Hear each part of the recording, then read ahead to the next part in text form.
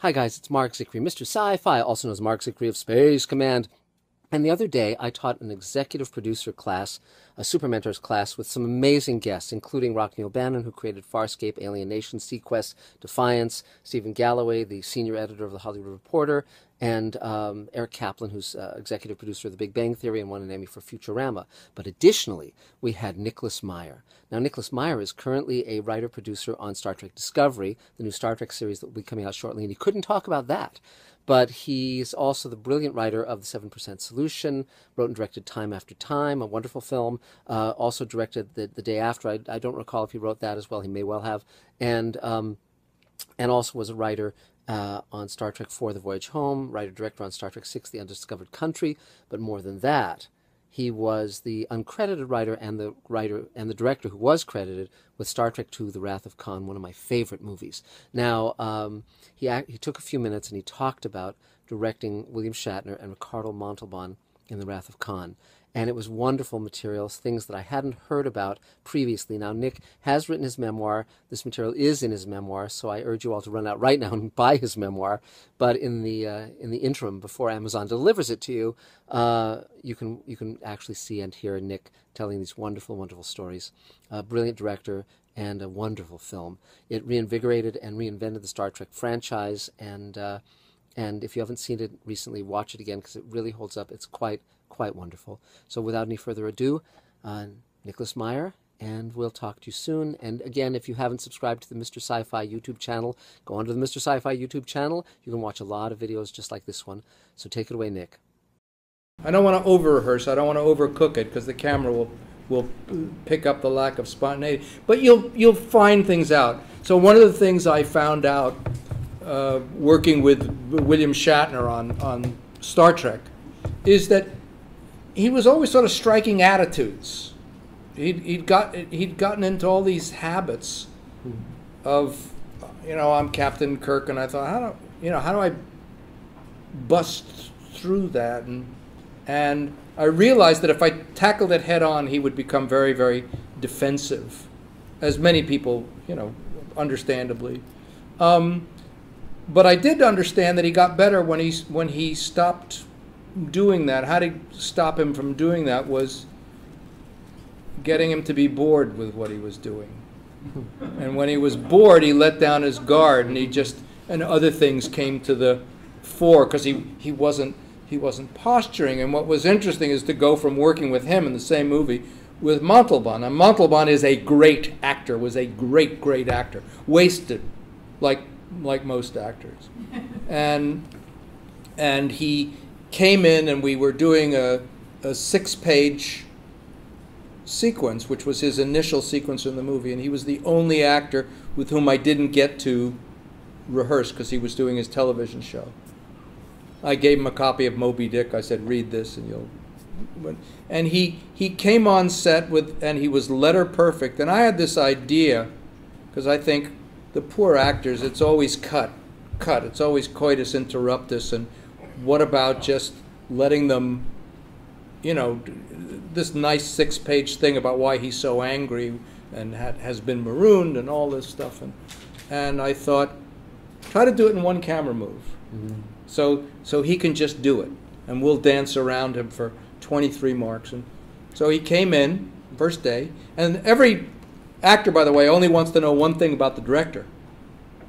Is he crazy? How crazy? Do I have to pull the boat over the mountain? Am I going to live? You know, and there may be a lot of ways in which they're asking that question, but they're asking it. And he didn't know me. He's very, very courteous man, very, very gentleman, courtly, I think. Came in, letter perfect for these six pages, hit every mark. Boom, boom, boom, boom, boom and he was screaming the whole thing at the top of his lungs. It was just like, whoa, and everybody was standing there.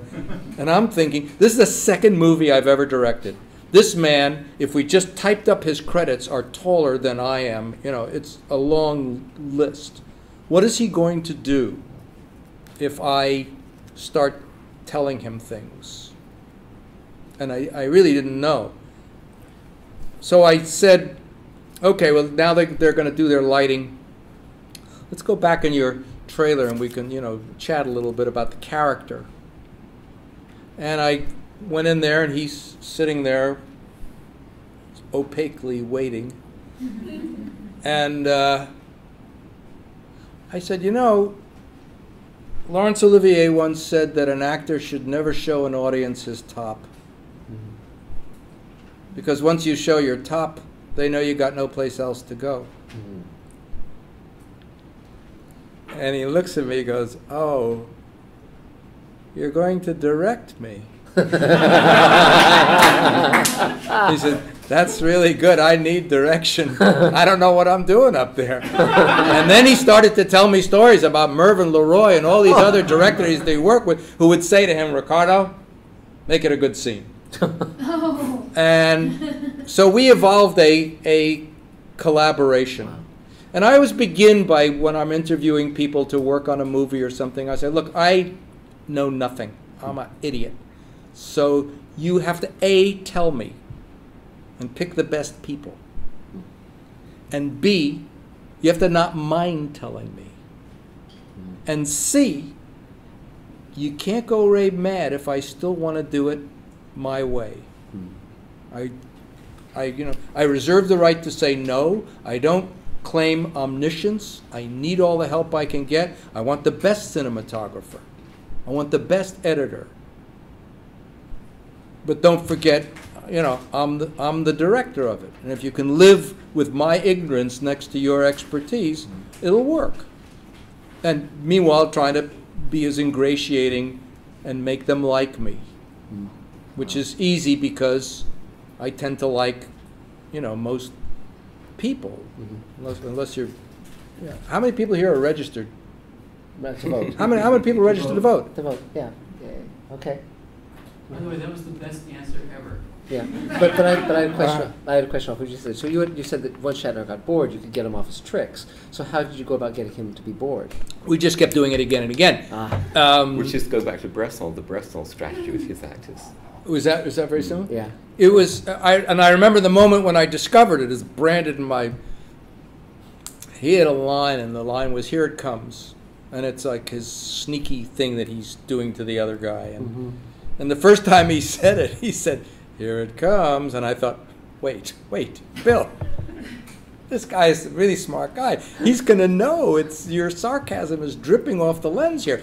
Let me get that. Um, and I said, let's, let's do it again. And it came off again very heavy handed. And I said, you know what? That wasn't good for sound. Was it? Uh,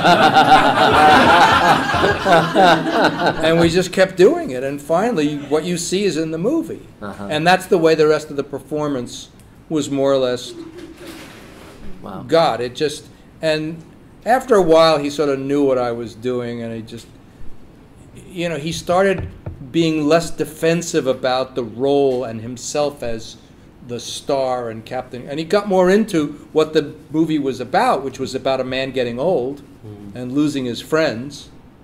You know, you say you don't like science fiction, but where does what is science fiction and at what point does the human component of it become more important any science fiction movie i always made was always set on planet earth right here right now no matter what they were wearing